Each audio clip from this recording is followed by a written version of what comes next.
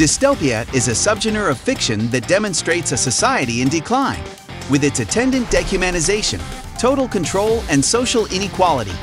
Usually, dystopia serves as a technique by which the authors try to warn humanity to draw attention to the problems of the real world. In this collection, we have collected the games that do the best at this task. Beholder. And in this dystopian game, the gamer will have to take the side of the same totalitarian government that breaks into the privacy of its citizens. The main character, the manager of an apartment building, must follow the tenants and report where to go if he finds signs of illegal behavior, criticism of the authorities, the presence of prohibited literature, etc. At the same time, he can act in the opposite way to shelter dissidents, to help revolutionaries, but it is worth remembering that there is also someone to look after the spies.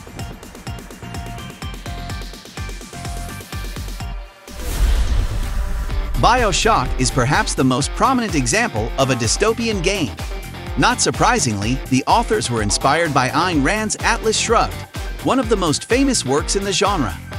In the first part of Bioshock, the player gets acquainted with the underwater city of Rapture, a place that was supposed to become a haven for the best people on Earth, a utopia that would give an impetus to civilization. However, everything went wrong, and the ideal society fell under the weight of its own ambitions and vices. The sequel sheds more light on the fate of Rapture, and the third part of the series, Bioshock Infinite, shows Columbia soaring in the sky, but no less decadent, as practice has shown, even being closer to the sun, people are unable to escape their base nature. In Half-Life 2, humanity fell through no fault of its own, who knew that experiments with teleportation technology would open a portal to an alien planet, from where invaders would invade our world. The forces turned out to be unequal. As a result of the seven-hour war, the Earth was under the occupation of the Alliance Interstellar Empire. The regime that has reigned on the planet has all the signs of a dystopia. Totalitarian surveillance of all citizens, massive propaganda, a clear social hierarchy, stratification of society. It seems that the population of the Earth is doomed, and there is nowhere to be saved, except for a small handful of rebels. Whether this story will end with a happy ending, alas, only Valve knows, which froze the series after the second episode of Half-Life 2. Deus Ex Cyberpunk always goes somewhere near dystopia, like post-apocalypse. Therefore, the games in the Deus Ex series, in our opinion, are more than worthy of being on this list. Moreover, all the signs of the genre are evident.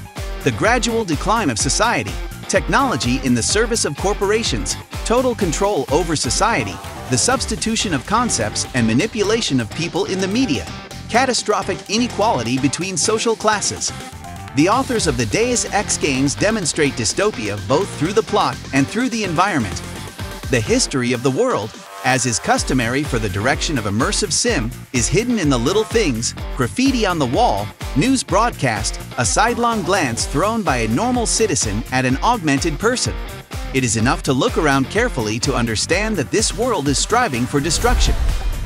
Mirror's Edge The city, which is the scene of the Mirror's Edge, is ideal at first glance. Clean streets, beautiful buildings, almost complete absence of crime. However, it is worth digging a little deeper, and the ins and outs of it are revealed. Tracking citizens, total control over the media, ruthless suppression of any speeches and protests. Some do not want to put up with this state of affairs, and among them is the main character, a girl named Faith. Her hatred of the ruling regime is reinforced by tragic events. Many years ago, Faith's parents were killed during one of the protests. The girl does not have supernatural abilities and skills in handling weapons, but she possesses parkour techniques, which will help her in the fight against an oppressive government.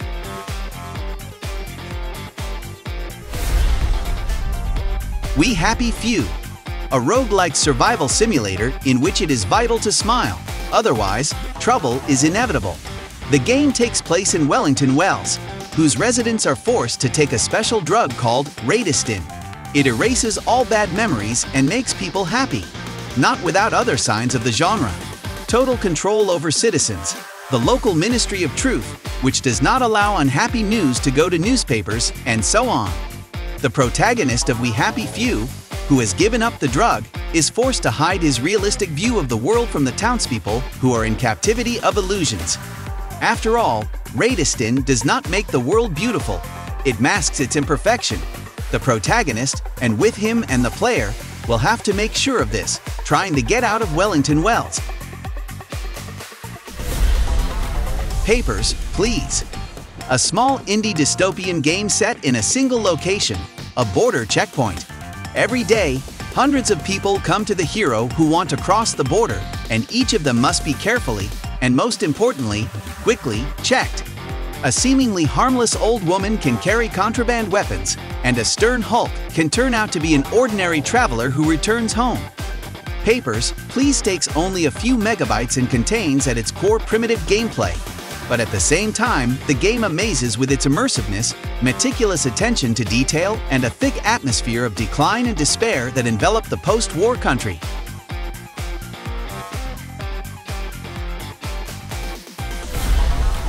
One of the best games in the Final Fantasy series, according to many. The game immerses gamers in a world where injustice has become commonplace. An energy meta corporation, hiding behind its own army, literally depletes the planet, extracting valuable energy, and those who cannot secure access to the energy flow are forced to vegetate in the slums, respectively, have less rights and opportunities than privileged members of society. The main characters do not agree with the current situation, in fact, eco-terrorists fighting to preserve their home planet. Final Fantasy VII not only tells a heartbreaking story, but also demonstrates what can become of the world if its inhabitants lose their sense of proportion in the consumption of resources. Dishonored presents a world that is simultaneously in the process of development and decline. Industrial progress here coexists with a decline in morals and terrible epidemics. Aristocrats have fun in their palaces while ordinary people die from the plague in the neighboring streets. In this world, players will play the role of Corvo Attano, the Empress's bodyguard, falsely accused of killing her. The hero must find and punish the traitors who staged the coup and the further fate of the city depends on his actions, whether he will return to prosperity or perish in chaos. No less interesting is the sequel to the game, where the adventures of the protagonist and his daughter continue.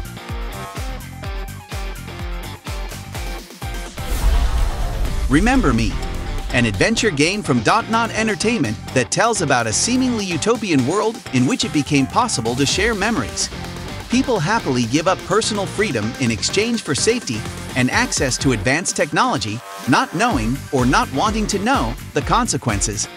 The main character, a former memory hunter and now a wanted terrorist, will have to uncover a criminal conspiracy of the government elite, open the eyes of the citizens of New Paris to the truth and give rise to a new, more just world. DMC Devil May Cry Usually slashers do not raise serious topics, but in the case of DMC, Devil May Cry, everything is different. The game from the British Ninja Theory shows an alternative reality where demons brainwash people through the media and thus control humanity. Only young Dante, with the support of his brother Virgil and the girl Medium Kat, is able to save the world. Fans of the series criticize the game, but apart from the lineup authored by Capcom, it deserves attention. Inside, a gloomy and uncomfortable platformer from the Playdead Studio, dedicated to the adventures of a boy who is forced to survive in a hostile environment, moving towards a goal known only to him. Inside surprises, sometimes shocking, but definitely does not leave the player indifferent. The advantage of the game, and its disadvantage, is the plot, which does not give an unambiguous interpretation and is interpreted by each player in its own way. Do Not Feed the Monkeys, an unusual game in which you become a participant in a program for observing experimental people, the so-called monkeys. Each of them lives his usual life and is not even aware of your presence. You can indifferently observe the wards and collect information about them or begin to interfere with their activities, which will lead to unforeseen consequences. Do Not Feed the Monkeys is intimidating by the simplicity and routine of intrusion into privacy, but also causes an irresistible urge to feed the monkeys. Will you be able to resist the temptation? State of Mind, a futuristic thriller that, like Deus Ex and Bioshock, explores the themes of the stratification of human society, class inequality, the inappropriateness of the dark physical world, and the deliberately ideal virtual world. In terms of gameplay, this is an interactive movie in which you have to explore the world, make choices, and observe the consequences to which they will lead. Good entertainment for a couple of evenings with an interesting plot and raising difficult questions.